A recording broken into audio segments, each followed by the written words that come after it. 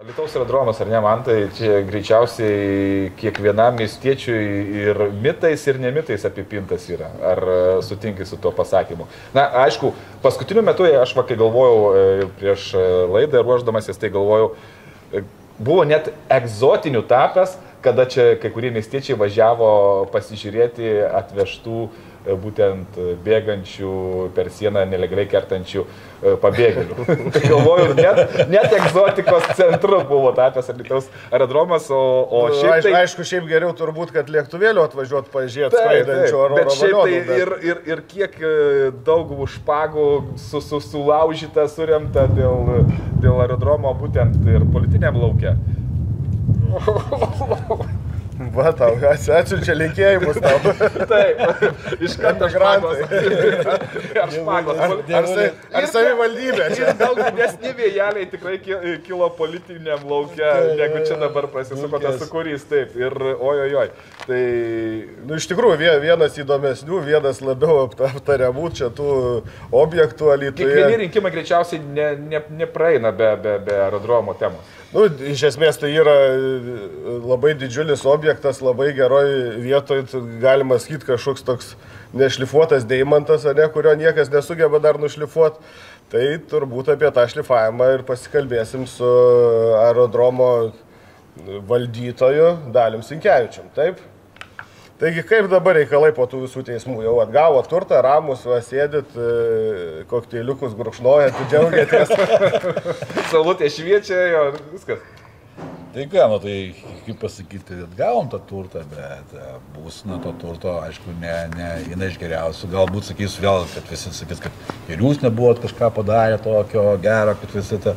Bet po, po tų vadinamų egzotikos tikrai bent jau administracinis pasas, tai yra pakankamai stipriai jau nunekotas. Yra Ne, bet čia po tų emigrantų. Po emigrantų, taip, kadangi vis tiek, kaip pasakė labai gerai, buvusi, buvusi administracijos direktorė, sako, apgyvendami emigrantus nereikalingi savivaldybės patalpose. Tai va čia buvo tas tokis, tokis šokas, vienas iš pradžių toks šokas, nereikalingos. O tai kaip nereikalingos atimtos iš, iš, iš asociacijos ir nereikalingos tapusios savivaldybės. Nu, bet tai situacija tokia reikėjo, valstybei reikėjo būtent juos apgyveninti, mes tą priėmėm irgi, kaip ir sakoma, su, su būtinybė. Ir negana to dar, kaip ir tą iš istoriją, va, tų vadinamos egzotikos, kaip sakoma, tai tikrai padėjom ir policijai, padėjom ir, ir viešo saugumo padaliniams, tiek, tiek informaciją teikdami, tiek, tiek kai kuriuo atveju net stabdydami žmonių mitingą, kurį čia norėjo suorganizuoti, būtent iš Lytaus. Uh -huh. Toks atvejis. Bet atsiprašau, pertrauksiu, čia buvo tada jau perduotas valdybei tos patalpos, taip, taip, ar, ar tai buvo vis dėlto jūsų? Ne, ne, tai buvo perduotas valdybei. Ai, tai jūs tik žiūrėjote, ne, kad, kad prie lėktuvėlį ne, neįskristų toliau. Ne, tai lėktuvėlį. Viskas buvo savivaldybės čia buvo paimta. Jo, jo, viskas buvo, savivaldybė, viską jie buvo pasiėmę. Iš tikrųjų, jo, mes, mes, mes ką turėjom, tai savo sklandytuvą, savo lėktuvėlį, va, gavom iš, iš, iš, iš verslo tą palapinę pasistatėm, kad galėtum lėktuvėlį laikyti toliau šitus du konteinerius. Ai, tai jūs kažką, kažką vat, turėjot specialiai sugalvoti, ne, kad, kad laikyt savo, bet, bet veiklos nenutraukėt, kadangi ne, ne, žemė ne, ne, buvo jūsų. Ne, ne, tai vyko vaikų mokymas, dar pakankamai tais metais gerai užėmėm vietas, sakykime, mūsų būtent jaunimas sklandime, tai ir veteranų suorganizavę esame tos vadinamus šimponatus. Tai čia, čia iš tikrųjų ta veikla nenutrūko, bet esmė tai, kad apribojo iš dalies pačių pilotų e, vaikų judėjimą čia, nes ten buvo vadinamas e, čipontas, nu, patikrinto dokumentus, tai reiškia, kad sugalvom leidimus, kad vat, išduot, kad važiuot būtų galima, aišku, konfliktinių situacijų irgi nebuvo neįmanoma neišvengti, nes vieni pilotai karštesni, kiti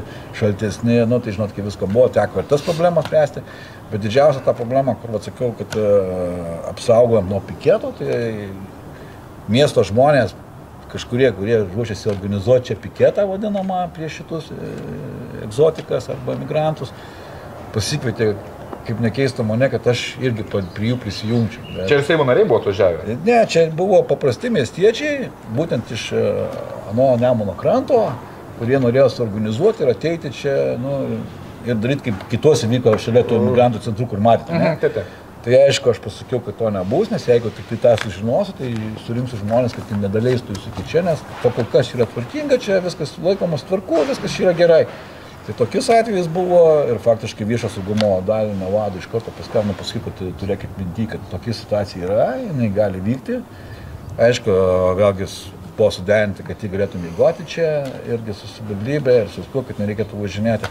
Iš tikrųjų, tas bendradarbiavimas vyko, kadangi tai buvo bendra valstybės, nu, sakykime, problema, kurią reikėjo spręsti. Ne? Jo, bet gal neįsiplėčiame į emigrantus, nes... Apie miesto problemą dabar Bet kalbam. dabar Bet, bet per tuos e, gerai teismai e, nuo Grigaravičiaus dar vyksta. Vyko. ne? Vyko, kiek, kiek metų užėmė visas Dabar šitas? Tas viskas prasidėjo, jeigu dar taip ar Tai ne. jo, tai tiksliai. prasidėjo tai, kad a, buvo sugalvota čia įsteigti lezą ir a, geležinkelis per Nemuną, sujungti su Varėna, nu, kaip sakė buvęs premjeras Kvarnelis, nu, nauji vasių. Bet tai čia dar ne praeitos, čia už praeitos kadencijos mintis, ne? Buvo mintis buvo. Ir, ir po to prasidėjo va, būtent tas, kad a, nacionalinė žemės tarnyba vėlgi sutartys nutraukė ir čia prasidėjo teismų procesas. Pirmą teismą laimėjom, antrą laimėjom, aukščiausią laimėjom teismą ir, kaip sakoma, iš karto ana kadencija tiesiog, nu, pasitraukė nuo mūsų, paliko toliau veiklaukite ir... Nes jeigu gerai pamenu, tai netgi ir studijos buvo atliekamos ir čia Jo, buvo na, jo. nu, nurodoma, kad Alitaus aerodromas e, pagal savo plotą yra kaip Jo, viena bet- geriausių vietų Alitaus Nu, miestui. iš esmės jau Būtent niek čia, niekas šitą kur aerodromo jau nematė, jau, jau čia, čia jau gamyklas. Čia gamyklas statė, jo, jo, čia jau statė gamyklas, bet kas įdomiausia, kad niekas nevertino vadinamo aerodromo vietos, niekas nevertino, sakykime, aukštingumo ir visą kitą, nes, vat, imkim tą pačią padangų gaisrą, tai, mm. tai vat, dėl ko pramonės rajonas buvo vystomas Ulytų ir manau visi daug kas pasakys, kurie statė tą pramonės, dėl ko buvo pasirinkta ta vieta, o ne šita vieta dėl vyraujančių vėjų. Antras dalykas, pats aerodromas yra Dauboje. Ir čia Nemuną turime, turime parką, turim pušiną, turėjom, tu- sakykime, tam tikrus dalykus. Tai iš šiaip... Nu, bet iš kitos pusės, žinai, kai neturi geriau, tai, tai tikrai būtų tikus ir šita vieta. Na, bet, tai, nu, tai aš Tai suprantu. Bet dabar, bet dabar tu, iš esmės turbūt net nelabai yra kalbėti, nes, nes tokio varianto, kad grįž dar prie lezo idėjos, turbūt ne, A, bet- ar, ar yra. bet dar- Ar jau tikit, kad viskas atsitraukė Žiūrė- į politiką? Žiūrėkit, aš dar kitaip pasakysiu, aš manau, kad taip, nes kadangi e, dar anoj kadencijoje, ginant tą patį aerodromo pozicijas, buvo tas vadinamas šimto, irgi ten ne šimto iki šimto hektarų vadinamam tam šiauriniam dalykui. Ten yra kapinaitės vadinamos, kur yra kultūros paveldas, istorijos ir taip toliau ir visą kitą. Mes apie tai kalbėjom, ten, kodėl ten neinvestuojate, kodėl ten nestatote gamyklų, kurios būtent susikimo kelias. Kas pajudėtų? Pirmas sakau, dalykas pajudėtų Alytus Kaunas kelio rekonstrukcija yra labai greita, kadangi verslas reikalautų didumo. Teisingai, turim geležinkelio atšaką nuo šeštokų iki ten. Nereikia nieko daryti. Bet visiems vis tik čia tas, tas vadinamas perlas, perlas, va tokias va čia tas dalykas. Tai šioje kadencijoje praėjęs visą tą, tik tai tapus merui, Nerijus Įsiūlis, administracijos direktorius, įsiunčia iš karto raštą, kad mes nesisakome toliau planų perimti aerodromą. Ir vėl prasidėjo ta vadinama. Teismų karuselės. Bet dabar jie padarė šiek tiek protingiau. Jie pabandė perimti turtą. Ir kas dar įdomiausia, kad prie vyriausybės vat, e, skvernelis aiškiai deklaruoja posėdėje, kada vyko to turto perdimo projekto rengimas, jis sako, ar tikrai bus naudojama aviacijai būtent tas turtas. Visi sako taip, bet kancleris kaip paruošė ir atsiunčia raštą savivaldybės poreikiams tenkinti. Ką tai reiškia savivaldybės poreikis tenkinti? Kaip jinai pati numato, ar ne? Tai šitoje vietoje prasidėjo visi, visi, visi kuriozai.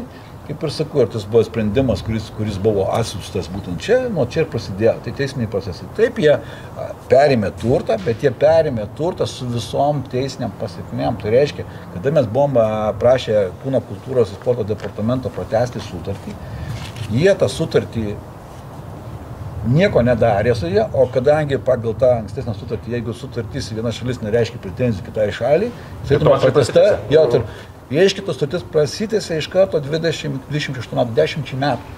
Ir savivaldybė perėmė turtą, jinai perėmė su ta pačia galiojančia sutartimi. Bet du metus užrakino, uždarė ir, kaip sako, liaudis nei pats valgo, nei kitam duoda. Atrakinus čia labai buvo toks e, skaudus vaizdas. Na vis tiek, e, vienas dalykas yra, mes puikiai žinom, kad bet kuri technika stovėdama tai daug labiau genda negu... Be abejo, tai, be, suprantat, kaip yra. Aš gal esu labai ramus žmogus, aš žiūriu labai ramiai visus dalykus, nes kai net ir kalbantis su meru, tai jis keturis, sakau, keturis ar penkis kartus buvau, kalbėjom, sakau, užkasam, kirvius, užkasam, prasidėtis, kaip sakė, sulaužytis, ne, ne, sakau, nelaužom, mes jūs užkasam, susėdam prie vieno bendro stalo ir kalbam, ką mes galime padaryti aviaciją, ką galime įveiklinti miesto bendruomenį, ką galim tą padaryti kartu darant. Klubas turi puikiausias, kaip sakoma, sąlygas ir turi dokumentus, licenzijas, viską prižiūrėti. Visa kita eitų pinigai per savivaldybę. Ir tai natūralu. Jo, dar, bet toks klausimas tada, kodėl iki šiol nu, nė, nėra, kodėl šitas Aš mūsų aerodromas tai nematau čia tokios perspektyvos, kad kaip aerodromo. Aš tada kitą klausimą. Tada mm, vėlgi tokis vat įdomi. Bet paprasti žmonės, va, ir pats, ir aš, ir paprasti žmonės, jie mato perspektyvą. Čia mato perspektyvą ne tik tai tos pačios aviacijos, bet kaip ir sakome, tų pačių renginių ir viso kito. Dėl ko aš sakau, šiandien kreipiasi net techninių kitų sporto šakų, kad ar galime jūs naudotis teritoriją. Welcome. Kaip aš sakau, visą laiką naudokime, darykime visą tą dalyką, kad bendras... Vitalio, o čia pagrindinė pačio veikla yra, ar, ar, ar tai, nu, kaip e, kažkur tik dalį laiko savo sk- E, kitaip pasakysiu, aš esu daugiau, a, jeigu taip, nuo 87 iki 91 sklandžiau čia. Uh -huh. Kiekvienas berniukas čia norėjo ateiti, čia buvo stovyklos po 60 vaikų, nu, būtent ten apgyvendinami, čia vyko visą kitą, aišku, chemijos gamykla buvo maitinami, bet tai niekas net, ne, netrukdė ir, maitintis atvežti ir buvo ne viena kas stovykla nepriklausomos Lietuvos laikotarpį organizuota šitą vietą. Bet 91 metais aš tiesiog išėjau savanoriu ne, ir e, mano ta aviacinė veikla kaip jinai nutrūko. Bet nutrūko saliginai, sakykime taip, ne? Tai šiandien dieną aš esu daugiau kaip administratorius ir vadybininkas, ne, kaip pasakykime taip, kažką tai vat, bandant, ieškant ir galvojant, žiūrint, bendraujant ir visą tą. O klubas, jisai tavo potencialą, tai yra lakūnai, tai yra technikai, visi kiti dalykai, jie toliau čia dirba savo tą darbą, jie, kaip ir sako, mes esame tie žmonės, kuriuos gali paruošti skraidyti, licenzijas pavyzdys, vat, mokyklos dabar atidarimas, vat, irgi kaip mes ir šnekame, ruošiam dokumentus, jau, jau esame paruošę ir bandyti tą, kad mokykla čia atidarytų, kad galėtų ruošti, vat, sugalvojo į savo licenciją įsilaikyti ir, pavyzdžiui, su Cessna. Nu ir pas mus jūs praėjote praktiką, teoriją įsilaikėte, praktiką praėjote, gavote valandas, viskas, jūs turite licenciją, jūs važiavote į klubą, esate klubo narys, pasinaudojate techniką. Va, o kiek, kiek dabar narių yra klube? Dabar yra pas mus Alytos yra klube, yra virš 20 narių. Tai vadinama tie senas potencialas, kuris likęs yra, tas rimtas, o prijaučiančių, kaip sakykime, net yra tikrai nariai, yra nariai.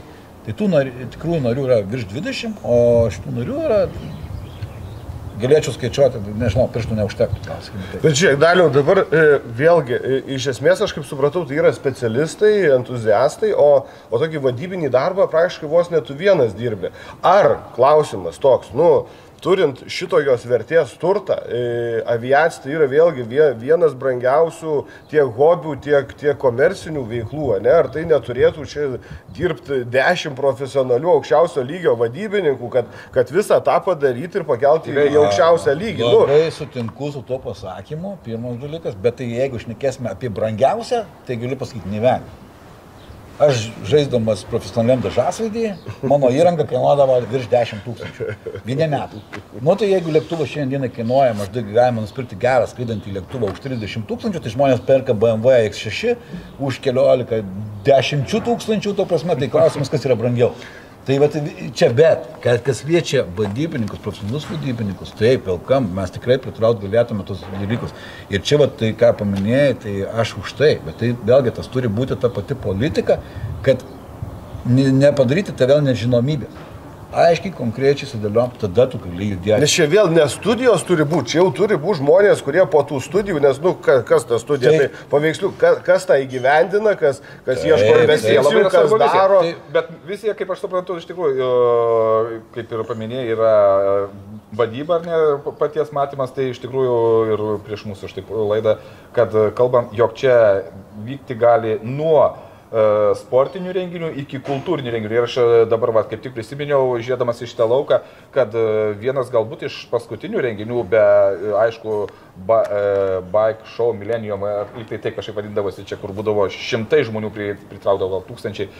Tai buvo sportinis renginys, buvo futbolas organizuojamas, ka, nu kitoks ten buvo jisai trupačiuką. Jo, šitoje vietoje. Tai, tai, tai, tai va būtent čia. Jo. Tai taip ir galvoju, tai iš tiesų čia įvairiausių renginių galima rengti. Tai, Tai Čia didžiausia galim e, Vytai Dzukijos veido vasaros festivalį su palapinėm, Taip, su, su taip. šimtais grupių, ne? Taip, tai, tai sakyti. Ir visą tai būtų galima įvykdyti, ar ne? Be abejo. Bet nėra aptverta teritorija, tai čia E, be bilietų tai- suais. Be, ne, žiūrėkit, bet, bet kaip jūs sakėt, milenimai ir visi kiti dalykai, kas vykdavo, tai apsauga, taip, viską. taip. Puikiai su teritorija vyktų, kaip jūs sakote, didžiausia grupė. Bet čia šitoje vietoje buvo numatyta, vadinama tokia mini tribunėlė, kuri... Nu, čia scena, scena kažkur jo, turėtų būti. bet čia va buvo numatyta, jeigu pagal tą viziją, kaip jūs sakome, kada tu galvoji viziją, ar tu bandai ją sukonstruoti, kaip atrodytų visas tas, kaip jūs sakote, ir kultūros, ir sporto, ir, ir aviacijai, netrukdytų vienas kitam. Tai čia buvo suplanuota ta vadinama tribunėlė, kaip jūs sakėte, futbolo aikštelės, toliau, bet iš tikrųjų, jeigu reikia modeliavimo varžyboms, prašau žiūrovams, va, modelė, modelių varžybos vyksta visą kitą dalyką. Nevyksta modelių varžybos, naudojame kultūros renginiam. Tai va čia toje vietoje, kaip jūs sakote, pritraukti grupės, vienas dalykas - triukšmas, Antras dalykas tas, tai kad žmonėms tiesiog nemaišotas ir galima vaikščioti. Kai sako teritorija aptverta, teritorija aptverti tai yra, na, nu, kaip sakoma, jeigu šiandien nedarau, tai šią ir aptversiu. Mm. Nu, tai būkim vietiniai ir teisingai šitoje vietoje, kaip sako dukeliai, tai jeigu tik tai reikės teritoriją tai ir aptversi. Tai šitoje vietoje tikrai. Antras dalykas, ką mes darom sakome. Jeigu čia yra rėdėjimo takas, kuris šiandien yra asfaltuotas, bet jis e, jo... Ką reiškia asfaltas- rėdėjimo takas? Reiškia, lėktuvo išvažiuoja, e, rieda iki vadinamo pakilimo nusileidimo Ai, tako. mhm. Jisai, jisai yra dabar yra 4 metrų. Jeigu mes sakom, jį praplatiname iki 6 metrų šitą bataką, mes puikiausiai galim daryti kiekvieną šeštadienį, sekmadienį. Vadinamas dragos. Ką dabar jaunimas važiuoja į vadinamą pramonės rajoną, juos policija gaudo viską. Čia būtų viskas oficialu. Kas vėl yra gerai, kad šalia to veiktų ir kavinės, tuo labiau, kad pasiūlymų čia jau daryti ir kavinių yra tikrai, ir kavinės, ir vėl pinigai, ir vėl atidė, viskas, atrodo, kad viskas vis tiek įsisuka į tą vieną bendrą. Ir kaip Bet sakot, va to nėra to pi pirmo, ne? Tai Kažkokio, sakome. vėlgi su kuriuo tu gali eiti tada ir, ir, ir būti įdomus tiek politikam, tiek, tiek investuotojam, tiek kitiem. Jo, Alitaus tai- politikai, ar jie, ar jie apsitai klausosi, va, kai jūs pasakoja tokią viziją, man dabar net kyla klausimas. Iš tikrųjų turim pasakyti žiūrovam, kad e, aš skambinau ir administracijos direktoriui ir, kviečiam Alitaus valdybės e, politikus, e, na, tiesiog e, vadovus. Ar, ar vienus ar kitus, kurie būtų kompetitingi šiuo klausimu dalyvauti šitoj laidoj, bet, e, na, aš taip mėgstu grubiai pasisakyti ir žinau, kad pyksta savivaldybės kai kurie, kai kurie klerkai. Nėra įkrūmus, viskas taip. Na, aš turiu pasakyti šiesiai tiesiai. Niekas šiandien nėra, būčiau tai- aš paskambinęs, būtų atėję. Tai, Tai ką, kalbės čia tave, pas tave, ar ką- pas tave niekas neina, tai čia yra tavo problemos. Tai nebijokit, aš tik tai pasišiaušęs, tai nesimanau. Tai, va. tai labai gaila, kad negalim jų išgirsti, bet a, aš tikiu, kad dalio jūs pats Tai pasakysite. pirma, pirmas vis dalykas, sakau, aš, aš labai esu ramus žmogus, kad sakau, mes tikrai galim susėsti, bet net ir čia, kaip aš sakau, galbūt net ir įdomiau, mat suvažiuoto visi čia, susėstum bendrą, bendrą problemą. Vat sakai, mes matome tokią viziją, tai į ką galėtume gyventi jūs, ką Gal galėtume mes, ką galėtume jo.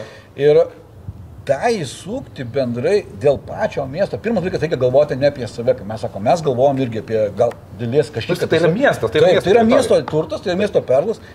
Tai Su, kitą su, klausimą. su turbūt didžiausiu potencialu, Potencialu. koks tai gali būti. Taip, taip, ir pritraukimo, ir visų kitų turistų, ką mes tai šiandien darome. Jeigu aš sakau, taip, žiūrėkite, jeigu mes, ai, anoj kadencijai paprašiau uh, 5000 muziejų Normandija Nemo. Tikslas buvo kokia? Suremontuoti vieną patalpą ir kada tu turi kažką tai padaręs, tu galėjai tai važiuoti į Prancūziją pas tos pačius uh, tą klubą veikiantį, kur net ir veikiantis realus dalinys yra šiandien Normandija Nemonas su Miražas skraidantis. Tarp kitko, prancūzai dabar vadinasi skambinė ir norėjo atvažiuoti vėl pas mus čia iš Normandija Nemonas būtent. e, Tai ką sakom, užmesgam tuos vadinamus kultūrinius Mhm. visus santykius. Kas tinka? Bendradarbiavimas vyksta. Gal kaip jūs sakėte, koncertai, tas parodas, tuo labiau, kad mes turime legendą prancūzo ir lietuvaitės. Tai čia mes turime palikuonės, kur mes galime tą patį išvystyti. tą angarą panaudoti, kaip vadinama, irgi vatminė, vadinam, kaip vat mes turim tą angarą seną, tik tai paremontavę. Kokia legenda, pažiūrėjau, aš net negirdėjau. Bet Nu, įsimylė- diena. Įsimylėjo prancūzas Lietuvaitė, susitokė, gimė jiems e, dukra, dukra gyva, anūkas amžinatelsi, Tai bet jisai drožės, išdrožęs yra stela, ten visą kitą dalyką. Tai čia vat, mes turime tą visą tą. Ką? Juk ką? Nu ir kas? Tai vat, tam vaidinimus mes galime įti čia ir gali būti po atvirų dangum ir galima tos kultūrinius renginius, turime eksponatų, kuriuos šiandienai galime tikrai parodyti. Tai vėlgi, kaip sakome, kultūros mes tai irgi turime. Ir šiandien tos istorijos. Mes bet bandėm- jeigu ten vyko teismai, tai, nu, tai logiška, kad negavot jūs tų pinigų, o ne? Ir... Taip, ir negavom tų pinigų. Ne, nubraukė tūkstantį, sakė keturis duos. Ai, nu, bet tai darė. Ne, ne, ne. Keturi tūkstančiai, bet pervedė į kraštotyros muziejų. Bet kraštotyros muziejus sako, ne, reikės grąžinti Liepos atgal metų į biudžetą, negalim duoti. Tai gerai, savivaldybė, kaip suprantu, e, nelabai čia su jumis yra linkusi dabar Bet tai aš gal, e, gali būti, kad čia, nu, dėl to, kad yra viskas karšta, viskas ką tik pasibaigė, nu, žiūrėkite, kažkiek aš laiko. Bet jau dešimt metų čia karšta, Bet- čia... Ne, ne, gali- bet tai gerai, tai savivaldybė, palaukite, jie pro, projektavo čia, kad lezas bus, kad čia jau važiuos kranai šiais gal metais ir, ir prasidės statybos. Nu, Bet to, to, toks buvo, visi, taip. visi tame gyveno, Gerai, ne, dabar aš, jau. aš irgi galvoju, kad tai bus, bet, bet, bet gerai, viskas taip ne, nesigauna, teismas esu... Uh, Tai jo, bet, rei- bet reikia dabar to biškių psichologinio pereinamo laikotarpio, kad, kad susigulėtų. Ir, Nu, bet ir, čia aš nežinau, čia, čia ne, ne, ne, ši, ne žmona ir vyras, kad aš Tai bet dabar be- nu, neduosiu tai va, tai mūsų- kokią mūsų savaitę arba kokią Taip, taip, taip, taip, taip, taip, taip. Mūsų, misija ir yra dabar, nu, kad, kad gal tą pabandyti padėti užmėgsti dialogą ir, ir judėti į priekį, nes Nes kodėl Nes labai gaila. judėti į priekį e, iš tikrųjų be savivaldybės? Mes irgi tą reikėtų labai žiūrovam pasakyti. Gal kažkas sakys, tai ko čia dabar dalius, nu, į tą bokštą beldžias, tegu važiuoja pas Šimonytę. Jo, labai geras atsakymas. Nu, bet, bet Klausimas. šiandien- Jo, klausimas, jo, bet, bet aš sakysiu taip, šiandienai mes tikrai dirbame su švietimo ministerija. Pakankamai neblogai dirbame ir, ir šiandien dienai tikrai tą situaciją labai esame daug diskutavę ir greičiausiai dabar bus sudaroma darbo grupė irgi lygiai taip pačiai dėl tų pačių redromų ir viso vadinamo tos aviacinio sporto, nes tą labai irgi mato. Tai dalius tai, ką gali, jisai daro. Suprantu, tai yra, bet esmė yra labai paprasta. Nei viena asociacija, nu tikrai nenuės į vyriausybę ir nepasibels šimonytė į duris. Gerbėme premjerę, gal galite įskirti va, asociacijai tam kažką dalyką. Ne. Iš esmės tai turi būti bendra valstybinė politika arba miesto, miesto politika būtų. Nes čia yra valstybinės reikšmės objektas, Jo, nu, tai nu, jo paprastai vienas dalius Bokšte bokštė nieko negali padaryti. Ne, ne, bokštai, bet gal, gal bokštas, aš nežinau kaip yra, bet a, dėl karštumo bulvių, kaip aš sakiau, mano bulvės nėra šalas. Aš visą laiką sakiau, esu kompromisų žmogus ir visą laiką galiu eiti ir galiu, galiu kalbėti. Aš moku užkasti, moku nuryti, moku kaip to visą dalyką. Esmė tame, dėl ko? Dėl to, kad tu darai ne savo. O tu darai žmonėms, tiem patiems net būtų. O kaip pas jūs dabar va- val, valdymo organas yra? Kaip, Taryba. kaip pas jūs renka? O tarybai kiek žmonių priklauso? Taryba yra šiandienai sudaryta iš e, šešių žmonių. O dabar yra galimybė, penkis, penkis aš e, paperku žmonės, nu, būdamas ten koks agentas valdybės ir jie tave pakeičia ir tam, tampa, tampa prezidentu, kaip prezidentas ar kas? Direktorius. Direktorius. Direktorium tampa nu, lojalus, lojalus e, žmogus ir, ir jis, Savivaldybės leiskim, turiu omeny, pavyzdžiui, ar ne? jo, pe, perduoda tur, nu, kažkaip čia tas sutvarko, kad savivaldybei pereina turtas ir vėl eina lezas. Yra, nu, toks scenarius e, galimas Aš jums prieš tai sakiau, kas yra tikrieji nariai. Jų nenupirksi. Jų nenupirksi. Pi- Pirmas, žiūrėkit, e, mes buvo kažkada Nu, labai... Pu- Putinas Nu, Merkel nupirko. Gerai, tai. gerai, žiūrėkit, nu tai ten nafta, visi dujos, viskas gerai yra, šiandien mes to neturime. Labai paprastas dalykas, aš, e, jeigu patys matėte per rinkimus, daug kas kalbėjo apie tai, kad tai va mes siūlėme, mes buvom net padarę tokią bendrą įstaigą, viešą įstaigą, kad čia ir savivaldybė dalyvavo ir visa kita, bet klubas to nenorėjo atsisakė. Nevelnio. Niekas nepasakė tikrosios tiesos. Taip jinai buvo padaryta. Taip viskas. Buvo dalis savivaldybės, bu- buvo dalis aeroklubo. Ta viešo įstaiga buvo sudaryta, bet administravimas buvo nuleistas ant klubo. Viskas tvarkoja. Tada be klubo žinios savivaldybė sugalvojo įnešti savo, padidinti savo kapitalą. Ką jinai padaro? Jinai paima prieš biudžetinių metų galą, perveda klubui ten apie 9 ar 10 tūkstančių. Ir didindami savo kapitalą.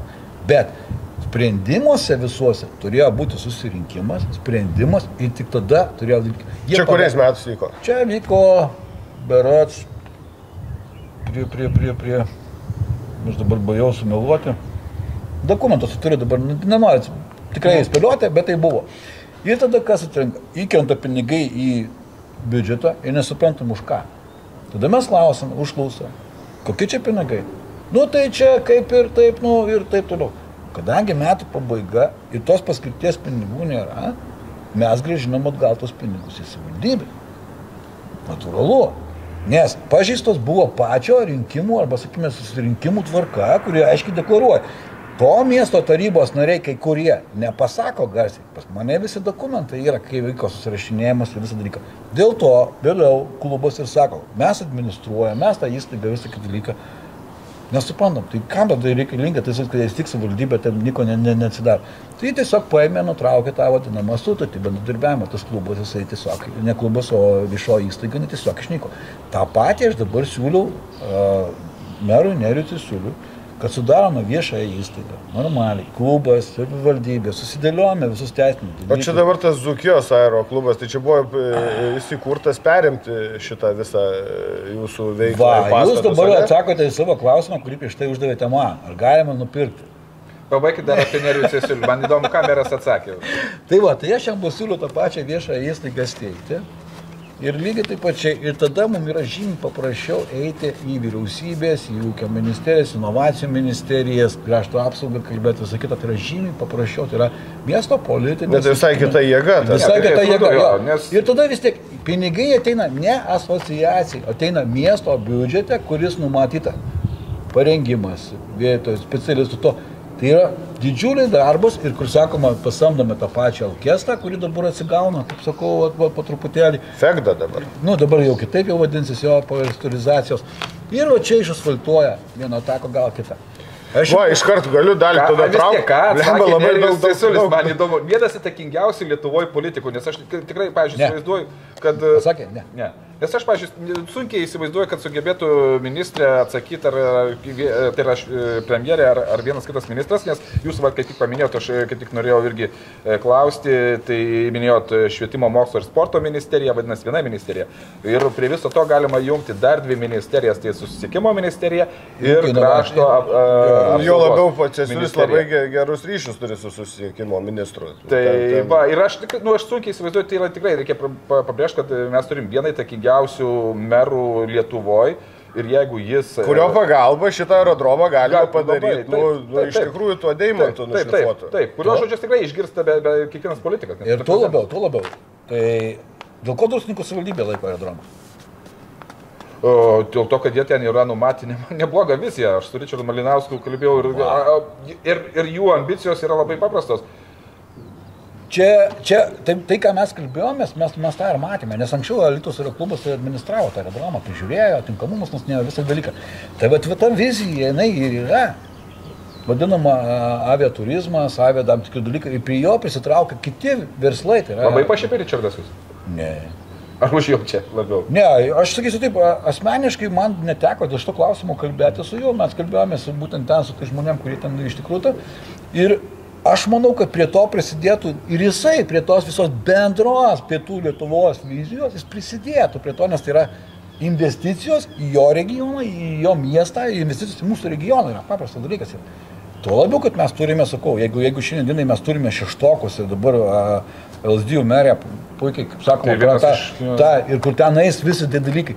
Tai mes šiandienai turime taip padaryti, kad išnaudotą pačią tą logistiką, šeštoko, su tų pačių geležinkelių, ta aviacija ir visą kitą dalyką, ir taip pačiai viską tą sudėlio taškus. Mes tą galim padaryti, tik tai kaip jūs sakote, turi būti biški nesiauras matymas, o šiek tiek platesnis matymas. Ir aš merui sakiau, padarykime aerodromą ir jūs turėsite visą laiką. Tris kadencijas. Galimybė išskristi, dar prasidės. Į, į vyriausybę ar į prezidentūrą. Nes tai yra investicijos, ne, tai yra investicijos. Jeigu bus investicijos, atsiras ir darbo vietos. Tuo jau leisis lėktuvas. Aš skrendu.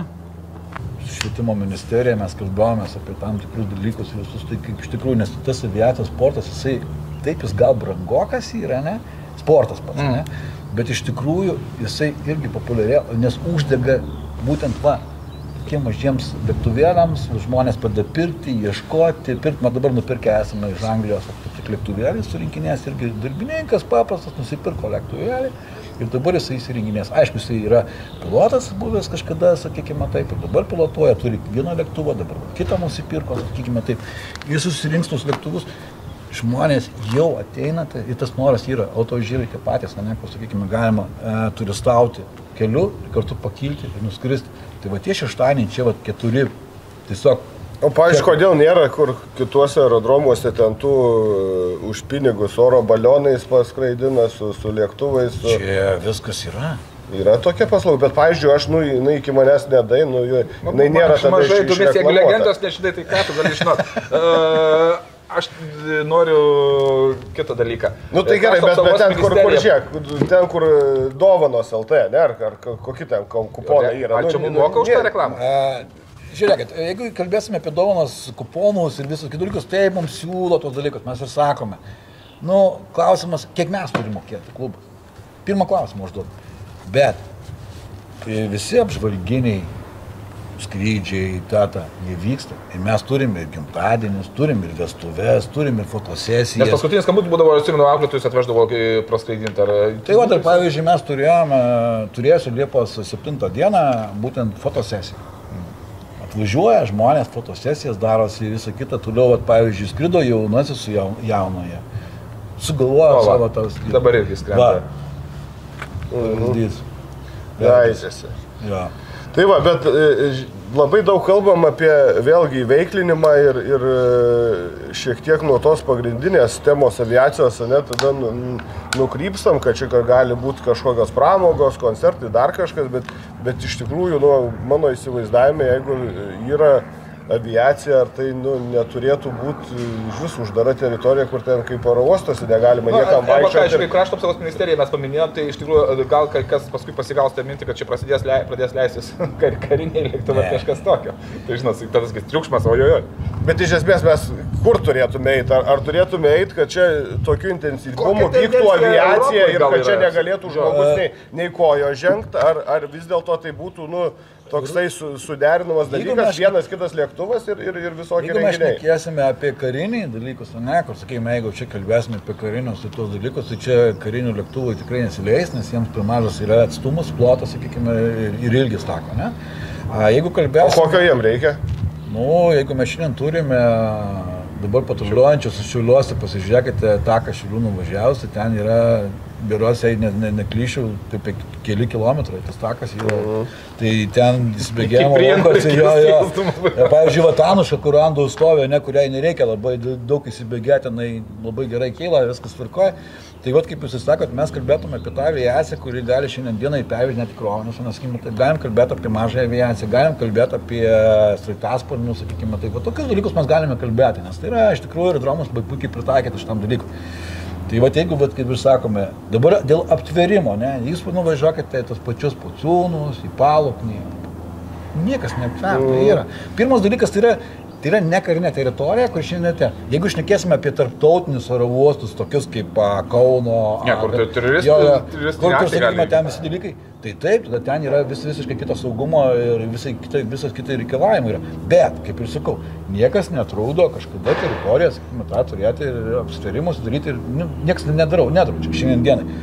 Tai mat vienas, vienas, vienas, dabar čia tik pajokavimas, mačiau Facebook išmetė, vedžioja šunį sako, nu va, kam reikalingas aerodromas, yra plotai 102 hektarų pasivedžioti šuniuką.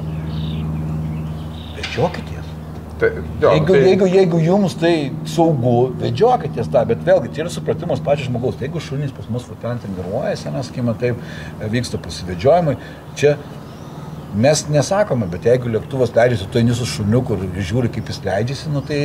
Daliau, bet to Ir neturėtų, neturėtų, ne, ne, ne, palauk, bet, bet pagal reikalavimus neturėtų būti kažkokių ženklai, stop, kad čia negalima vedžioti vaikščio. E, tai šiandien dienai pas mus yra, šitas ženklai, va, yra Jo, aerodromo šį čia, bet, bet va iš žanos pusės, ne? tai jeigu tu ten vieną ženklą praeini, tai jau antras ženklas nepadės.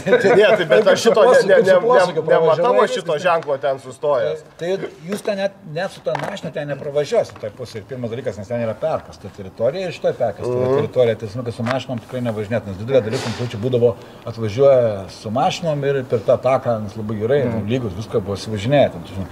Bet Kaip ir sakoma, samoningumas pas, pas žmonės jisai pas nu, turi, nu, savaime, kaip sakoma, jeigu tai yra šunų ten medžiojama, ten dresiūros, ten ir eina, ir jie turi savo atskirą įėjimą. Su- a, jūs- Jie ten įeina, ten- jo įeina, mes net, net nieko, kaip sakoma, net nesakoma. Aigi tiksliai, goda su Klementina čia vedžioja, tai jos pažeidžia taisyklės? ar- Tai realiai, realiai, realiai, nu kaip sakykime, vėlgi samoningumas. Dėl to ir neteko patarėjos darbo.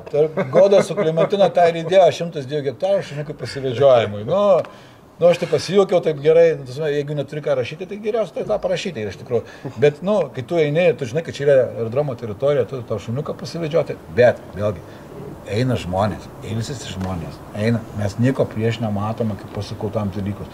Kadangi tai yra, nu, veikla, jeigu mes išasfaltuosime taką, čia prasidės angarai, pastatys visą... Daliau dėl tako, dabar, kur aš, man atrodo, interviu LRT mačiau, kad e, ar, ar straipsnį kaž, kažkokiam, kad pats sakei, nu, norėjom ten kiek e, kilometro 260 metrų, ne, pločio. Jo, jo, jo bet nusileistume iki 30 metrų ir Ne, iki 800. Ar kai, nu kažką, kažką.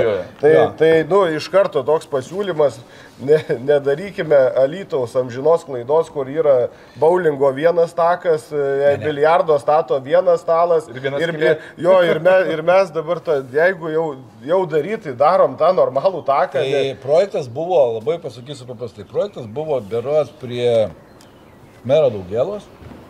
O Buvo projektas tą taką kilometras 260. Tai reiškia, tas vat kelias, kuris eina aplinkelis, ne, jisai būtų ėjęs po apačią, o viršuje tiesiog būtų tas kelias išlūdas. Bet ten yra miškų. Ai, tai mums iš esmės dabar iki, iki ten jau neužtenka, ne kilometro Ne, ne, ne. 200. Tai ten reiškia, turi tą kelią. Dirbimą Ai, padaryti tai dar jau čia tas- sudėtinga Plus, plus dar, aš dėl ko aš sakau, plus dar vadinkime tą vadinamą saugumo zoną, turi, turi iškirsti to miško, ta prasme ir visą kitą dalyką. Nu, tai čia va, tai yra tam tikrai kines. Dėl ko aš ir sakau, mes sutinkame iki to vadinamo, kur dabar vat yra. Nes Bet jau nieko nereikėtų plėst, nu. Jo, nieko nereikėtų plėsti, pa- papildomų investicijų daryti, visą kitą. Tai ten mes sakome, mes apmažinam. Vietoj to 60 pločio mes sakome, gerai, 30 padarykime plotį. Mes vėl apmažiname tam tikras vadinamas investicijas, ne? Bet iš esmės kas gaunasi, tu bent tą jau padaręs, aš jums sakau, kas čia atsitinka. Čia atsitinka, prasideda vadinamos pats privatus verslas, tiesiog atvažiuoja status angaras į tus lėktuvus. Nori pastatyti angarą iš to, kaip aš sakau, lygiai taip pačiai. Tu gali būti pačia vadybininku, kaip aš sakau, paprastas. Bet atėjai į klubą, esi klubo narys, pastatyti angarą, šeši lėktuvai atvažiavo ir, kaip sakoma, skrido ir tu nuomoji tą angarą. Mhm. Plius jie gauna techninį priežiūrą, tai reiškia, specialistai dirba mūsų, bet tau yra nuoma. Ir tau iš karto ateina pinigai visi, kurie sukas. Va čia šitoje vietoje Kauno meras Matijo Šaitis. Iš pradžių irgi norėjo gitarą. Ir čia, nu, ten kirdai, viskas. Ne, ne, po to staigiai labai viskas persuko. Takas, angarai, pažiūrėkit, kas ten vyksta. Dabar galvoju, o tai kur čia problema? Čia jūs nepatinkat e, merui ar, ar aviacija nepatinka? Ne, gal kito direktoriaus reikia? aš galvoju, tai jau- iš tikrųjų, nes gal direktorės reikia? Ne, nu, aš suprantu, kai norėjo pelekinį uždaryti irgi atkovojame ir faktiškai laimėjom. Vėl, kaip sakykime, prokuratūra gynė mūsų viešą interesą, na, aišku, buvom iniciatoriai, mes tie tėvai. Dabar tas pats ar tu klubą, nu, gaunasi tokia, kad uždeda man tą etiketę, vadinamą amžiną kovotoją, ne, bet, bet iš tikrųjų tai nesu tas žmogus, iš tikrųjų matau tą viziją miestui. Ne, nesakau, ne savo, ne klubas, kai sako, mes matom savo viziją miestui, kartu ir klubas testinumą tą turi, nes kuo senesnis klubas, kuo daugiau pritraukia, tuo jisai tampa, nu, kaip pasakyti, žymesnis kitur ir daugiau gali pritraukti tų dalykų. Tai ką šnekėti apie tą pačią Normandiją, nemą, ten jau anūkai renkasi ir jie toliau išlaiko tą tradiciją. Ne, jau labiau, kad čia yra istorija. Na, Tai istorija, istorija yra nuostabus Tuo labiau, dalykas. kad čia-. Alytus būtent e, buvo vienas iš, buvo su Anuškom, tiesiog skraidindavo Kaunas, buvo 3 rubliai kaina, visą kitą Kaunas, ten su kitur buvo. Šių, tai čia ir buvo tas dalykas daroma. Tai jeigu nebūtų tai metu reikalingi šitas teritorijoms, ten buvo seniai nebūtų buvę. Vienintelį, ką mes čia pastatėm šitoje vietoje, tik tai buvo žlinučių fabrikas, nesakykime, taip, tai chemija atsirado, nusakykime taip, ir pastatėme šampano gamyklą. Bet daugiau čia pramonė nesiplėtė, dėl ko nesiplėtė? Dėl paprastų elementarių dalykų. Tai yra inžinieriai skaičiavę labai aiškiai, matė tam tikrus grėsmės tam pačiam miestui.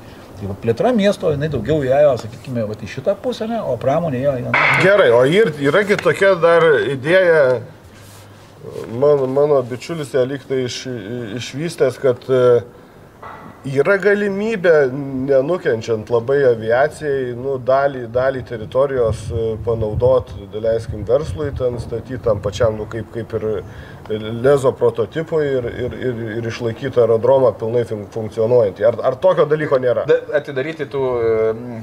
Užkrito dabar kaip vadinasi, vairalas, žodžiu. Jo, jo. Ai, nu, Jo, viskas vietoje. gamyba, ne? Žiūrėkit, mes ir sakom, va šitas kampas visas, kur yra su pramonės, kur yra visi inžinieriniai tinklai, šitoje pusėje, šitą va visą pusę, jinai mes ir sakom, okei, okay, šitoje vietoje plotą mes galime tokį dalyką daryti. Aš tą sakiau. O lietuvių... Bet žiūrėk, su, su, su tuo, nu, kaip pavyzdys, su Taivaniu atidaryti dronų gamyklą. Nu, Nu, kaip, Tai- tai kaip ne, tai pavyzdys, su aviacija, kad susijusi- Nu, su aviacija ir su šio laikinė, su šio laikiniais tai, dalykais. mes kai pradedam kalbėti apie dronus, aš visą laiką sakau taip, klausimas, apie kokius mes dronus kalbam. Jeigu mes kalbam apie tuos mėgėjiškus, kur ten... Ne, tai turim kalbėti, kur bombytės mėto. Va, dabar jau, jeigu kalbam apie tuos normalius dronus, sakykime, kurie tikrai, tai jiems pakilimo takas reikalingas, lygiai taip pačiai. Tai va čia mes, jeigu, va, turbūt nežinau, jūs galbūt matė, nematė, esate tuos, tuos tikruosius dronus, sakykime, kurie skraido, kurie ten ilgai stovi. Oi, mes Terminatorių matėme. Va, tai terminatoriai, jo. Aš tai Baraktarą. Tai va. Tai tiem dronam reikalingi irgi pakilimo takai. Ir antras dalykas, jeigu mes gaminsime kitokius dronus, kaip jūs sakote, biški mažesnius, tai mes išnekame. Aukštingumas, kuris nemaišo aerodromų, tai reiškia, va dabar, va timkime, aš net pavyzdį sakiau merus, kur jūs žiūrėkite, Kauno grūdai pasistatė makaronų gamyklėlę. Kiek užima ploto tos gamyklėlės?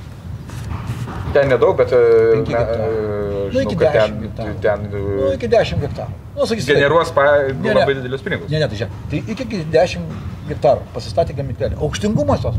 Wow. Jis nėra aukšta, jinai viskas tvarkingai. Tai ir sakom, visas šitas plotas, prašau.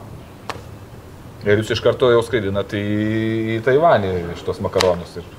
Taip, Ne, tai pačiai. jo, bet, bet čia tada kažkaip reikia tada eiti ir dėlioti. Čia Toliau. duodam, duodam gamyklai, čia reikia to, čia darom tą taką, Tas- tokį. tai- tai tas- Čia, čia statom sandėlius. Faktiškai patys negalite Ne, išsafaltuoti. nu, tai šiandien dienai, tai įsivaizduokite, vėlgi asociacija per metus sugeneruoja, nu, grubiai, aš sakysiu, taip sugeneruoja iki, iki šimto, sakykime, taip tūkstančių. Vienais metais geriau, blogiau, dabar aišku, sunkesni buvo metai, viskas į teismam, nes teismam beveik Jūs net paskolos negalite nieko imti, iš- į bankus negalite kreiptis. Ne, Galim kreiptis, jokių problemų. Mes, jeigu- ne, mes, ne, tai mes dabar jau, kada tai viskas normaliai, mes turim to turto, sakykime, tai galim nustatyti tą visą turtą, bet tai kainuoja pinigus ne, ne, ne šimtas tūkstančių tas takas. Nu, Nes iš, iš esmės, nu, e, Jo. žiūrėkit, bet Ne, tai aš- yra toks paskaičiavimas, kiek va tokia teritorija ir galėtų nu, e, prie, prie, prie geriausių e, vizijų ir investicijų sugeneruoti. Aš manau, kad tai yra dešimti milijonų. Tai, ne? e, Nu, mes skaičiavom, mes skaičiavom tam projektą tik tai be vadinamų tų vat, dronų gamyklėlių, be ten, be to, tik su pramogom, su žmonėm, sakykime, su aviacija, su uh, techninės sporto šakom, automobilių kartingais, nes kadangi užžydinus vadinamą tą taką su vadinamu tuo gali vykti tarptautinės kartingų varžybos ir visą kitą dalyką šičia, su kempingu, su viskuo, viskas normaliai. Mes paskaičiavom, kad per metus jisai gali sugeneruoti iki 400 tūkstančių.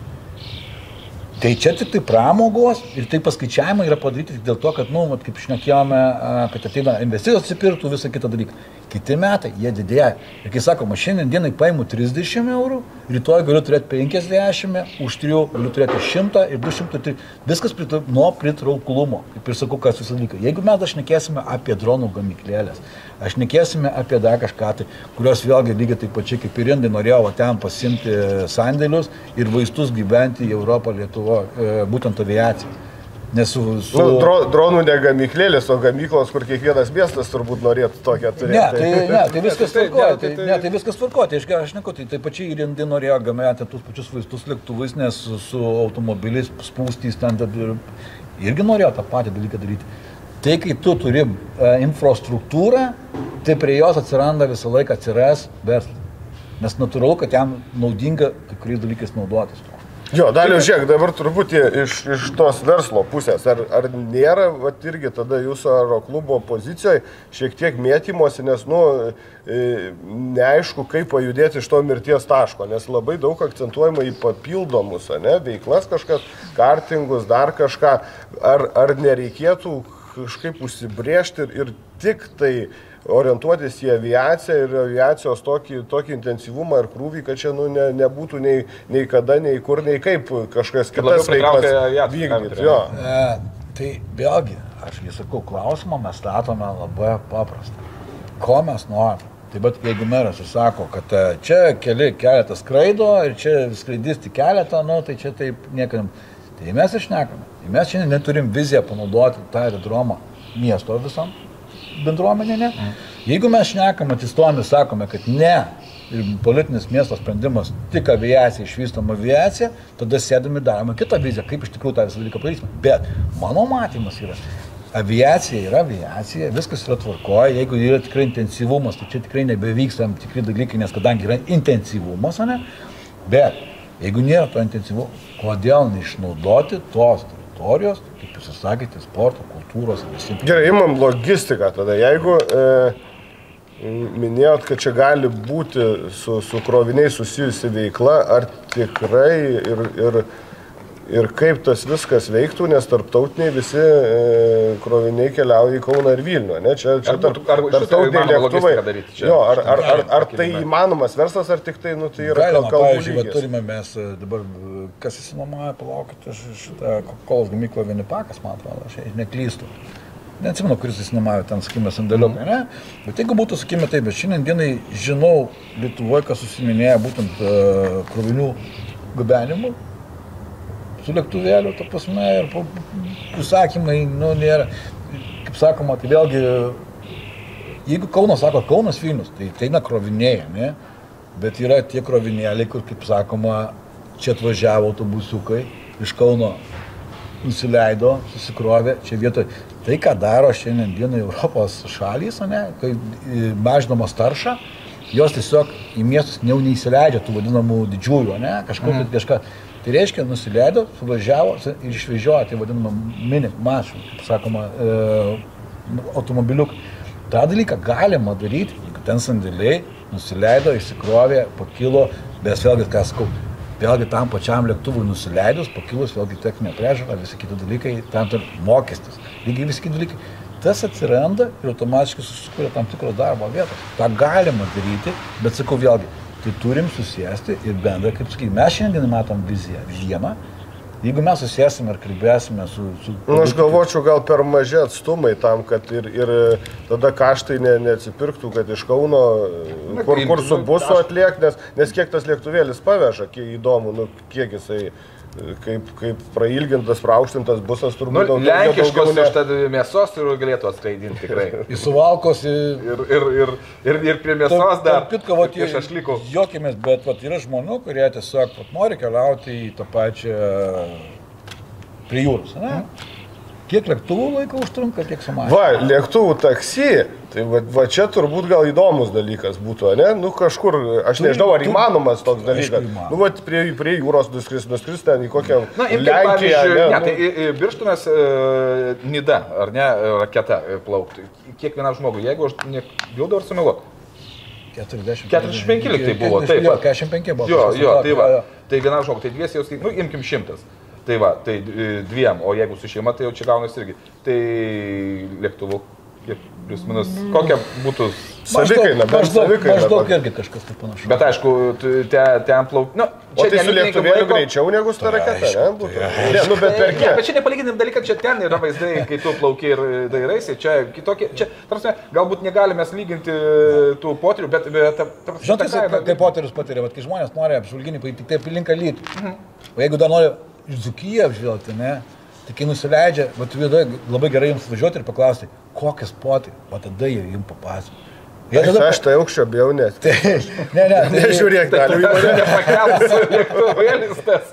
Pakels viskas tvarkoj. Neužteks čia Bet pakilimo. esmė tame, pamačius tai, ką viršui, kitą kartą vėl užverda noras. Nu, tai esmė, iš esmės, tavo jauti ir tas ta potyrį yra, kai tu ant žemės matai va tai, ką tu matai va tai va, ne, kas sakiau yra. Kai tu pakyli ten, tu matai daugiau, nes, nes tavo periferinis matymas visiškai kitoks atsiranda, nes tu tiesiog matai daugiau. Nu, susakai, visa ta erdvė tokia, ne, visai kitai, nu, kitas pojūtis yra. Tai kaip jūs sakote, keliauti ir visą kitą, čia yra normalu. Plius verslas, jis gali įsinuomoti tą patį lėktuvą, jis turi, pavyzdžiui, licenciją. Nes, kai yra vietų mūsų direktoriukai, kurie turi licencijas, jie pasiima lėktuvėlį yra, ka- ir jie... Ne, bet šiaip, nu, tas toksai, va, dar ir negirdėjau, nu, va, Ne, tai- avia taksi, nu, va, prie, priekaliai noriu dabar, va, ten pas draugą greitai atsidurti. Ne, bet žinai, tai, tai tu nori tą pačią valandą, pavyzdžiui, tai, Švedijoj. tai su mašina, tai tu jau paskaičiuoji, va, kiek užtruks o čia, tai, nu, kiek O kokiu greičiu jūs skrendat? greičiau nei mašina. Ne, ne, bet, nu, jie. Tai Ne, bet šitas tai- girdėjai nusipirko, palauk. Kas čia nusipirko, ne Jordanas, kad iki 500 km per valandą mašinėlį tokia. Nu ir Bet Ne, nu, šiaip, bet- bet- bet priklauso. Jo, jo, tai, tai, Gerai, gerai, tai, Mili- tai, tai, turėtų ir ką Lietuvoj 500 su tokia veikti? Nėra ką, nes Jis greičiau nenuvažiuos negu Ne, negu nu, žiūrėk, pa- paprastas pavyzdys. Ne, ne, bet nu ko, kokie va nu- tie paprasti lėktuvai? Nu, pa, paprastas. va. Taksy, va, mano šitas, Nu, taksy, boltą, įsikviečiu šitą. Kokius greičius? Jeigu paimsime Cessna, ne, va, sakykime, tai dabar į Kauną į važiuoti Palangą. iš Alytos kiek kainuoja? Nu, laiko, sąnaudos. O, jas, Valandą. virš valandą. Valandą. Virš valandą, Valandą. su šitais Imkim- 70. Imkim į tą pačią palangą, nu tai paskaičiuoti reikia 4 valandas, ar ne, kažkur tu kelionė vis tiek bus iš Alitaus į Nu, palangą. 3 gal, ar- nu, 3 Į Palangą? Ne, apie 4 valandas. Ne, ne, ne, gerai, tai tai Kauno Kauno gerai. iš pažydinėje taisyklės. O gerai, tai 70, su šitų tai va, tai kiek? kiek? Nu, aš galvočiau, kokį 10 valandų. Va. Minučių. Kiek jis kainuoja?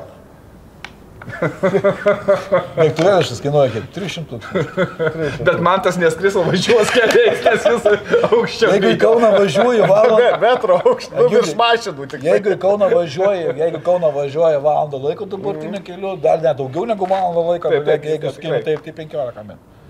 Nes jeigu dar tęsi prie... Tai galim sakyti savo, leiskime tą sakyti. vat- Bleba, dar Hebra, čerkos neišgersi autobusį ten vietoje. Rato neapsuks. Jau tu, O, aš jau čia. Jau kilintą nealkoholinio šalto alaus jį E. Iš tikrųjų, net, vat, e, vat, sakau, ko privalumų tikrai vat, ir buvo, ir COVID laikotarpiu privalumai buvo tikrai, kad dauguma direktorių Vilniaus įmonių, Lytus, jie tiesiog susitikimams naudoja lėktuvus. Prie Vilniaus apstai ten, e, ten aerodrome vyksta veiksmas, ten labai viskas gyva, ten, ten tiesiog verda, ten, ten, ten atskiras Čia gyvenimas. apie, apie verda. kurį, apie kurį ir dar E, palūknį. e, Jo, jo, jo. Jeigu apie palūknį kalbėsime, tai nepamirškime vieną dalyką. Palūknio žemė yra valstybės žemė, o šalia viskas yra privatu. Ir klubas, klubas ir, sakykime, tie aviatoriai, jie tiesiog įsipirko tas žemės, ten pasistatė. Bet žodžiu, nu tai... Bet vėlgi panaudos sutartis dabar, kas įdomiausia dar yra, kad jų sugražino, savivaldybė trakų atsisakė, nes, nu, tipo, jiems poreikio to nereikia. Mm. Tai jie tada per, per dabar sporto ministeriją, jie tiesiog, e, sporto departamentą, man atrodo, dabar ne ministerija, jie tiesiog gavo panaudai vėl 10 metų tą, tą, tą žemės plotelį, kuris yra būtent nusileidimo pakilimo, ne? o visa kita yra privatu. Nepamirškite, aplinkui yra privatu. Nu, bet vadinasi, tai verslas mato. Taip. Tai Taip, yra. ir ten yra investicijos. įstraiktasparnių dabar ta pati mokykla, yra, toliau yra irgi mokyklėlė įsteigta, visą kitą dalyką. Dėl to, kad tau tada yra tas potencialas, tu, tu, tu turi savo bazę, turi visą kitą, tu investuoji, ten važiuoji, visą.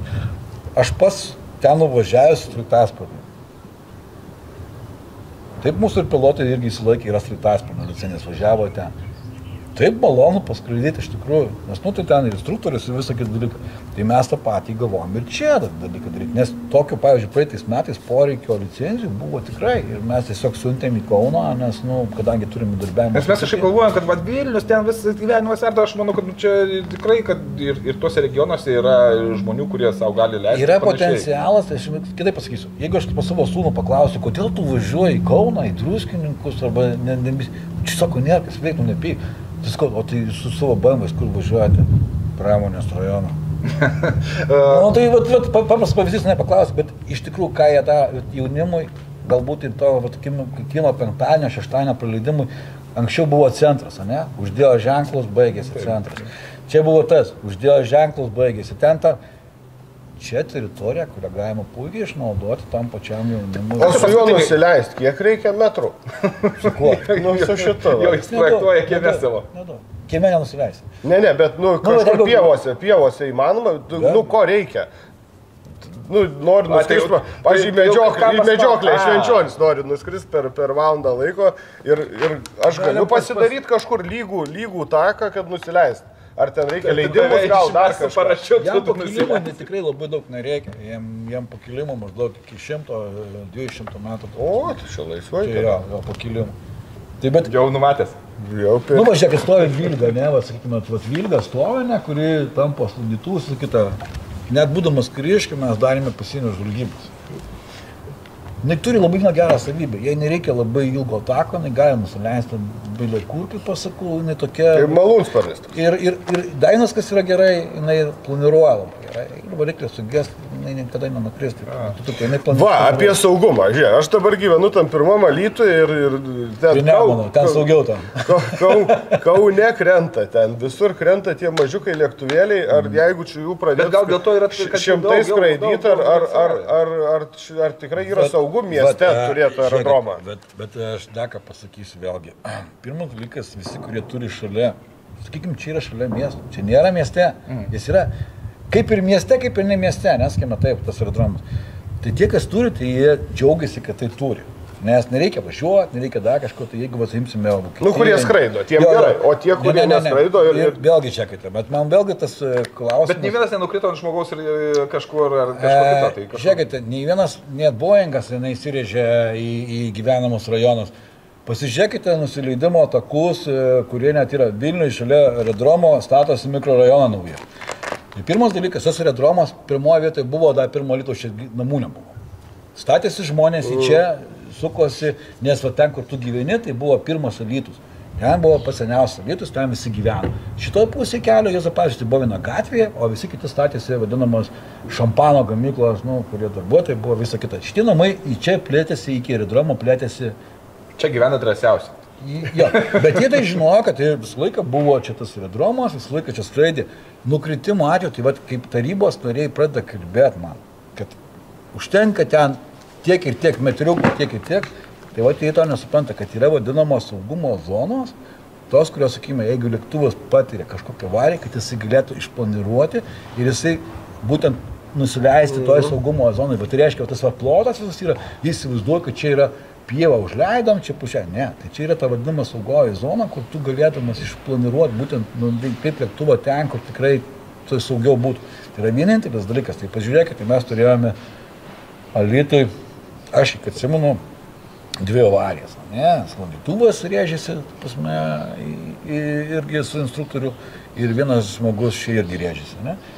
Bet viskas čia įvyko. To, tai o Kaune kažkur tai, kiemus buvo nukreipę. Taip, bet ar tai daugiau įvyksta dėl techninių kliučių, ar dėl, dėl techninių problemų įvykusių, ar tiesiog sveikatos kokios problemos? Na, nes čia niekas ne... Čia niekas neapsaugotas, taip kaip su mašina vairuoja, širdis sustoja. Nu, tai lygiai tas pačiai, tai kuri dabar techninė. Jo, gali priemonė... vienas užsimuš, gali dar krūvą. Jo, ne, bet, ne, e, bet, bet, bet, kiekvienam pilotui, kuris būtent dėl ko, bet, pavyzdžiui, vyksta kartais nesutarimai su tais vadinamais a, pilotais, kurie ai va čia sudarysiu. Ne, mes sakome, atnešk licenciją, atnešk mediciną, atnešk visą kitą. Tada, nes mes atsakom už skrydžius ir mes atsakom už aerodromą. Tai reiškia, negali... Jeigu iš jūsų pakilo jūsų atsakomybė. Taip, ir jeigu mes nesukontroliuojam, tai tai va, labai didelė dalis va, tais pilotais, kurie va, šiandien dienai vyksta tie vadinami konfliktai, nes mes pasakome, aerodromai yra tvarka ir būtent e, TK nustato tą tinkamumą aerodromų ir ten yra taisyklės aiškios tu turi turėti galiojančią mediciną, turi galioti vitą, tą, tą, tą, tą. Ir jeigu tu to nedarai, ir vat, kas įdomiausia, vat, vėlgi dabar užsitrenkė, ne, pasirodo, kad jis neturėjo galiojančios licencijos. Tai kas kaltas yra šiandien dienai? Ir žmonės, vat, vat imkim šis vat, sklandytuvas, ne, pagamintas pačio žmogaus. O čia pasigamina mm. žmogus, skraido, visą kitą dalyką, nagingas, modelius daro, visą kitą, pasigamino tą sklandytuvėlį. Jis turi licenzijas, jis turi sveikatą, jis tą dalyką ir jis ją jį prisižiūri ir prieš kiekvieną skrydį visi lėktuvai yra patikrinami. Buvo toks atvejis, dar sovietų laikais gerai atsimenu, kai JAK 52 pakilo į pilotažą ir buvo neuždyta tepalo sklendį. sklendį. tai nusileido pro langą žiūrėdamas, tai, tai aišku, veidas visas langą aptaškė.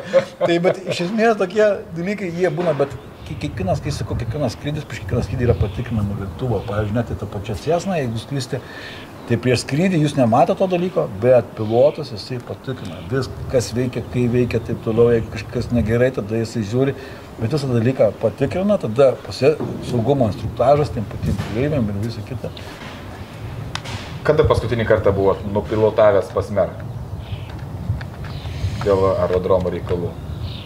Prieš pačius rinkimus. Nu tai netinkamas metas, aš galvoju. ne, da, dar rinkimų nebuvo, dar rinkimų nebuvo, aš buvau paskutinį kartą nuėjęs, tai jis prašė mane skaičių, skaičių, tai aš ten nunešiau skaičius, mes sėdom. Paskutinį... Banke ar, ar, ar žmonių? Ką? Ar, ar lėktuvų banko skaičių, sąskaitos? Ne, ar... ne, ne, aš pa, tiesiog norėjau skaičių, kiek tai kainuotų, visą kitą aš pateikiau tos skaičius. Bet paskutinį kartą nuėjau tiesiog skusėdam, ne, ir pasikalbam žmonės. Jau po rinkimų? Ne. Ir taip kalbėjomės, kalbėjomės, bet, bet nu, Tai dar bandysit, kada mm, belstis į duris, ar, ar, ar, ar, ar jau vis. Nes aš vis tiek, nu, reikia pripažinti, Nerijus Esiulis yra strategas puikus ir, ir, ir nu, jis tikrai, manau, strateguoja, kad, kad miestui vis tiek, na, ta meilė žmonių nėra begalinė. Tai kažko reikės vėl duoti, ta prasme, ir, ir, ir, ir, ir kažkur kažką. žinot, Garsas nekils, gal- galbūt va aerodromas atsigaus. Visą laiką sako tą patalinį, Mohamedas Kalnas ir Kalnas pas Mohamedą, nežinau kaip ten įskamba, ten ne. Viena Bet- kalnas pas mus. Mohamed- Jo, Mohamedas ateina, kitas Mohamedas pas Kalną Bet ateina. dar tai- čia tu- turiu tokį vytą, aš gal pasiūlymą, tai nu, tie, kas yra su, suinteresuoti, čia yra ir, ir esami turbūt ir buvę politikai, yra ir šiaip aktyvūs žmonės, gal, Bet gal, gal iš tikrųjų susijęs, paruošti viziją, vat, e, sužinot, kada kitą kartą atvažiuos arba specialiai nuvažiuoti pas susisiekimo ministrą, ar, ar ką ten apimtų, nu, galim ir krašto apsaugos, jeigu... pakviesti viceministrus. Žiūrėkit, Ne, ir, ir, ir ta, bet, bet tai turi vis dėlto nugult, nugult raštu, kokia ta vizija matosi, ko, ko reikia bent pradėti ant pirmie, pirmiem penkiem metam, nes nu, tai negali būti, kad čia vat, reikia to, to Ne, ne, po mėnesio, po aš Jo, ir, ir su tokia vizija į tada pristatyti nu, dabartiniam Lietuvos politikam, ne, gal ras protekciją tarp vi- vicemerų, tarp tarybos narių, ne, ka- kas galėtų prisibelsti ir, ir į mero jau širdį. Ir, ir taip startuoti. Nes Bet aš tai siūlyčiau pirmą variantą, tai yra pirmą vietą, tai yra vietos pirmiausia savivaldos susėdimas ir pasikalbėjimas. Tai Būtų, čia būtų idealiausias variantas. Pirmoji vieta, dar strategija nusimatai, visą kitą. Tada tos pačius žingsnius, kai va, aš sakai, tada įsiveltų ir vidinimo valstybės politikos. Ne, sakykime, tai, yra- tai vizija, aišku, pirmiausia galėtų, galėtų, jo, galėtų tada iš karto transliuoti, įsikviesti, galima važiuoti, galima kalbėti, taip toliau sudėlioti viską. Tikrai to aš laukiu. Tiesiog, e, kaip aš sakau, Ne, sutikim iki, iki nu, pilno įveiklimo, ar kad čia kiekvieną dieną skraidytų, kiltų, fanfaros Nereikia būtų ir, metų- ir vizija, nu tai Nebus čia sutikim, metų, kad, kad, trys, ne. kad ne, bet, bet kad, kad vis dėlto pajėgumų jūsų aeroklubas kaip vienas, nu, nu neturi, ne? Arba į jį turi ateiti daug, daug žmonių su, su vos netarptautinio lygio patirtim. Arba nu, turi kažkas aukščiausio lygio, privatus gal investuotojas, ne, nežinau, nei Arba vienas, nu, arba žiemelis ateina. ne, Nu, nu, Taip. tai va, ta- tada tai. Tada tai. bet tai mes net mes į metus. Ne, tai niekas netmet ir turbūt visi, Tai visi galbūt būtų jum- jum- patenkinti. jum būtų e, ramiausia iš tikrųjų, nes tada nereikėtų iš tikrųjų belsti tas duris. E, Taip, bet esat kalbėjęs su Žemelio šitą temą? Esat. kas, kol kas taip, e, e, aš tikrai nenoriu daug kalbėti, mes esam kalbėti su daug verslininkų ir daug žmonių, kurie tikrai galbūt norėtų tą investiciją, bet, bet, bet tie procesai jie savo davė. Nu, sakykime taip, jie tiesiog atbaigė. Iš tikrųjų, koks tikslas buvo to dalyko, man, man irgi buvo labai keista. Vietoj to, kas sės ir kalbėti, ir galbūt, kaip ir sakote, tie patys verslai, paskui ateitų dar pats verslas, žinotų, matytų, kad irgi jam yra kažkur tai naudos, jis pats investuotų tą dalyką. Tai čia būtų yra super, tas, tas e, kaip aš sakau.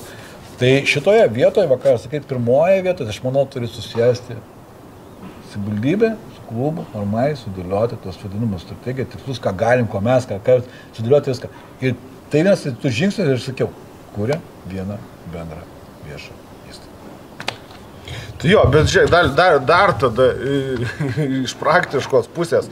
Čia tas kurt vizijas, ar, ar jo, ką, net aš dabar sakiau, kad susės čia visiems ir galvot, ar, ar, ar iš tikrųjų tai kelias, ar nereiktų e, pasikvies būtent aviacijos, komercijos ir verslo specialistus. Nu, Bet, bet, bet, bet jiem reikia ką? Tada jokie, kad žemė čia būtų išnuomota ne, gal minimum bet, metų. bet, ir- bet, Ne, ne, bet, ne, ne, ne. bet pas juos tai- vizijos ir, nu, pa- paklaus patarimo, kaip tą padaryti, nu, komerciškai sėkmingai, kad būtų Tai- patrauklu visiems. Žiūrėkit, tai buvo labai paprasta. Buvo net sudentas su iškviesta dabartiniai mm, Rainiero, ne Rainiero. Vizija yra.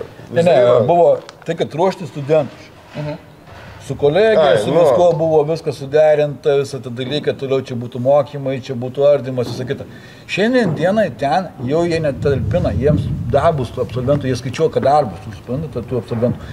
Ta jau galima, kaip ir sakai, mokslą sutraukti. Tai va, tada mo mokslas, Turime, turime technika, profesinio, profesinio praktika. rengimo centrą, kur galima tikrai mokinti mechanikus, inžinierius. Paklausa šiandieną jų yra didžiulė. Trūkumas yra. Trūkumas yra nerealus, kaip aš sakau. Vėlgi, tai kaip jūs sakome, apjungiame komerciją, apjungiam verslą, apjungiam švietimą ir taip toliau. Tai ta yra bendra didžiulė strategija. jinai Yra, tada automatiškai nereikėtų tai mūsų kolegijai jungti su kažkokiam kolegijom, nes jeigu mes 800 studentų neturime ir dabar turim jungti su kažkuo. Bet aš suprantu, kad to dėlionė vis dėlto savivaldybės tos detalės trūksta. Turi būti vienas, vienas. Nes čia iš nu, esmės šeimininkas- užtektų, žinai, ž- žiemelio to verslo garažo būtent, nu, ta prasme, ne servisų, vienu iš servisų, ne? Ir čia užtektų visai savivaldybė ir visam to aerodromui veiklos. Nu, kaip pavyzdys, ne, nebūtinai žiemelio, yra ir tai- tai- kitų Ne, ne, tai taip. kompanijų, bet... Ne, nu, žiūrėkit, mes nekėjome su Danais. Danai su Milu Noru ateitų irgi. Nes ten, kur dirba mūsų specialistai, jie ateitų irgi su Milu Noru. Bet kada situacija tokia, nu niekas nekeša. Toliau, sako Danai, o bus asfaltuotas takas. A, suprantu, negerai. Nes jie galėtų jau džetus ir ten visus kitus dalykus remontuoti. Tai iš esmės, aš Norvegijai buvau, sako vienas man verslininkas Norvegijai. Kiek reikėtų pinigų tam angarui pastatyti? Ir kiek man atsiperkamumas būtų po tas dalykas? Aš pravažiavęs surinku informaciją, pasakau, "Hm," sako, žiūrėk. Vertas pasiūlymas, sako, aš pagalvosiu.